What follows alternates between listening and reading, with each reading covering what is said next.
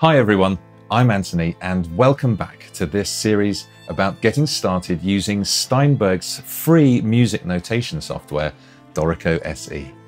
Now our project is at a point that it can be performed, I'm going to show you how to print it or export it as a graphics file, such as a PDF that you can share with other musicians. Firstly though, let's sort out the title at the beginning of the music here. If you double click where it says Untitled Project 1, the text changes to this slightly strange arrangement of symbols with the words project title in the middle.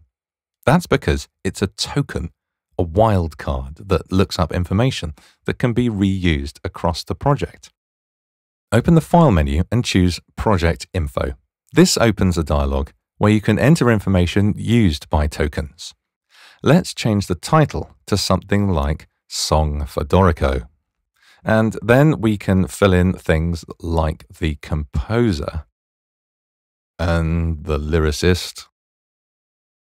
Press apply and close the dialog, and now the title, composer, and lyricist information is showing in the score. We still have this flow 1 heading though. We'll cover flows in a later video. For now, we're not interested in seeing this, and we need to set an option to hide it.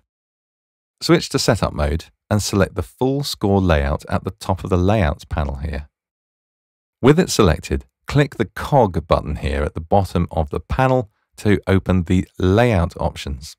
Click Page Setup and then Flows, and set the option Show Flow Headings to Never. Press Apply and close the dialog, and the flow heading is no longer showing. Before we switch over to print mode, I would like to take just a moment to talk a little more about layouts in general. Dorico automatically creates a layout for each instrument in your project, as well as a full score layout that includes both of those instruments. It's the full score layout that we've been working on throughout this video series so far, and you can easily switch to look at one of the other layouts by way of this pop-up menu button on the toolbar. For example, let's take a look at the voice layout that shows just the vocal part and not the piano. And similarly, the piano layout doesn't include the voice, though it's more common that the pianist would use the full score in this sort of song project. We can open a second tab and then set a vertical split to see both layouts side by side. Making a change to the music in one layout affects all layouts. With that in mind, let's now switch to print mode. And you'll notice that we have our list of layouts in the left panel here. You can set the print or graphics export settings for each layout independently by selecting them in the panel. Let's print our full score layout. On the right, we want to make sure printer is selected as the destination. We can choose to send it to any printer we have set up. I'm going to choose the 7100N as I know it supports A3 printing. Set the number of copies you'd like to print. I'm going to choose two because I'm going to give one to the pianist and keep one for myself.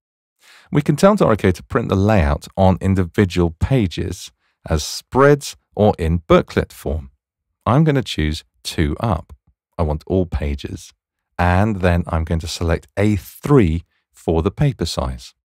Dorico will now print this two-page layout on one piece of A3 paper automatically in landscape orientation. I can press print and job done. As well as printing direct, you can also export a layout as a graphics file. And to show you how to do that, I'm going to select the voice layout. This time, I'll select graphics as the destination. Now I can choose between saving as a PDF, PNG, SVG, or TIFF. I'll leave it as PDF. Set where you'd like the file to be saved, and even choose how to construct the file name. And when we're ready, we can click Export to generate the PDF. Better than that, though, we can select both the full score and the voice layouts by holding down Control when we click, that's Command on Mac, and then initiate both the print job and the graphics export at the same time. When we save the project, all of these settings are saved too.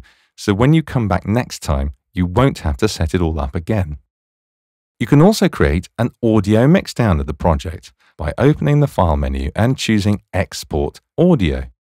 You can save the audio as an MP3 or as an uncompressed WAV file. You can even export each player's music to their own file, essentially giving you stems you can work with further in a DAW or that might be useful for creating rehearsal tracks. So that's how you use print mode in Dorico SE and either print your music or export it to a variety of graphics files. There's lots more to show you though about preparing music for guitar or percussion and some great power user tips for taking working in Dorico SE to the next level do stick around for the next video. If you found this useful, please hit the like button below and do leave a comment if you have any questions. I hope to see you next time. Thanks for watching.